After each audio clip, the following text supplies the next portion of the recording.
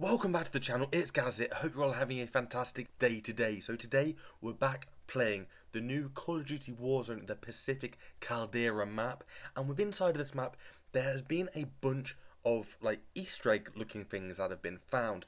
So if you look back at Verdansk, we had all the bunkers.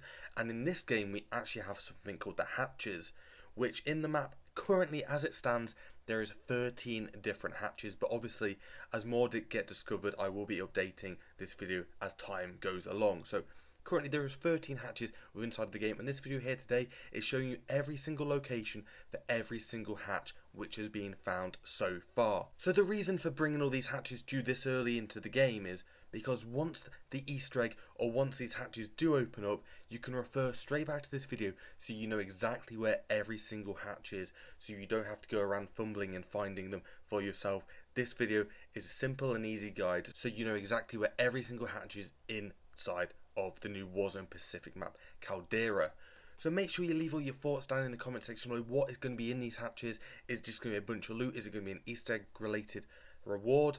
Who knows? Make sure you let me know all your thoughts down in the comment section below. If you guys are new around here, make sure you hit that subscribe button with the bell notification turned on so you never miss a video just like this one. And hit that like button if you've enjoyed this video.